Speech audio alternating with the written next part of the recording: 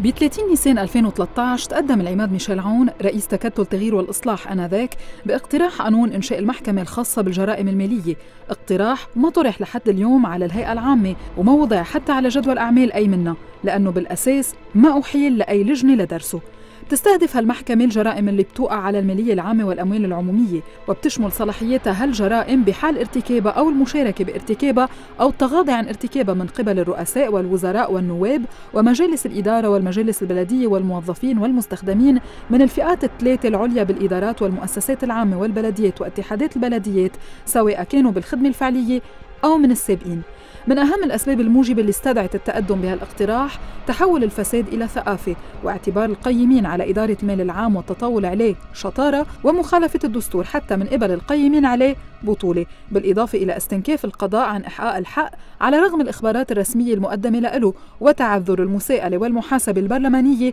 بسبب التوازنات السياسية القائمة بالبرلمان. حتى من استفيق متأخرين على خراب البلد وإفلاسه إذن تقدم العماد عون باقتراح قانون إنشاء المحكمة الخاصة بالجرائم المالية يلي بموجب الاقتراح بتكون مرتبطة بمجلس النواب يلي بينتخب أعضائها وهالأعضاء بيقسموا اليمين القانونية أمام المجلس النيابي بجلسة علنية. بنص اقتراح القانون على إعادة تنظيم النيابة العامة المالية بحيث بينتخب مجلس النواب قاضي من بين القضاة العدليين أو الماليين بالدرجة 12 ليكون نائب عام مالي. بيتمتع بجميع الصلاحيات والمهام يلي بيتمتع فيها النائب العام لدى محكمة التمييز تجاه القضاة التابعين له والمدعين العامين الاستئنافيين والضابطة العدلية بيملك صلاحية تحريك دعوى الحق العام أو الادعاء مباشرة أمام المحكمة المالية الخاصة كما بيقوم بوظيفة مفوض الحكومة لدى المحكمة الخاصة. وبيقوم مكتب مكافحة الجرائم المالية وتبييض الأموال بقوى الأمن الداخلي بمهام الضابط العدلية أما الإدعاء أمام هالمحكمة فبيتم إما بإخبار مقدم من عشر نواب على الأقل أمام النيابة العامة المالية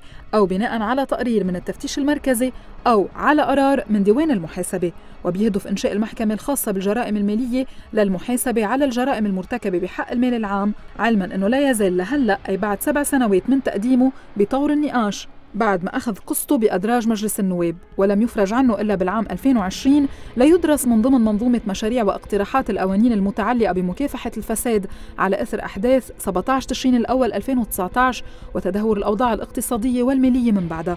اقتراح القانون اليوم أمام لجنة المال والموازنة اللي باشرت بدرسه واصطدمت باعتراض شديد من بعض القوى السياسية ومن قبل القضاء العدلي يلي اعتبر أنه إنشاء المحكمة الخاصة بينتقص من صلاحيته بالنظر بالجرائم اللي بتتناول المال العام مع العلم أنه هالقضاء بالذات ما بت بأي جريمة مالية وتناسى يمكن 16 قضية تضمنها كتاب الإبراء المستحيل وبتشكل كل قضية منها إخبار مفصل وموثق وهيدا على سبيل المثال لا الحصر